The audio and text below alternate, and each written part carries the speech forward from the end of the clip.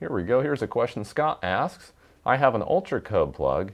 Can that be merged uh, with my handmade code plug? Uh, fantastic question. Uh, we get this quite a bit because people get the Ultra Code plug or they have a plug and play package and they want to expand their, you know, their reach in the DMR, start making more QSOs, uh, is you can reach out a long way with DMR, but you have your, your local stuff, your local code plug that you already spent that time to program, but you don't want to lose that. Uh, you can absolutely do that. We have a video that covers it, uh, but the, the basic idea, we'll actually do a real quick demo. I'm not going to do the whole thing, but I'll show you how this would work. Uh, if we jump into the computer here,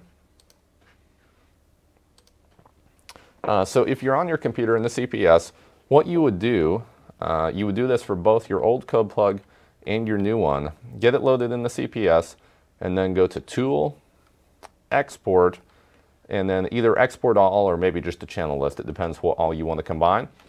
You take both of those files, uh, you get them in like an Excel format, and then you actually transfer the information from your local plug over to the UltraCode plug.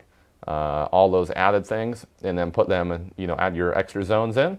At that point, go to your new code plug and go to Tool and Import, and you're going to be able to import that combined code plug.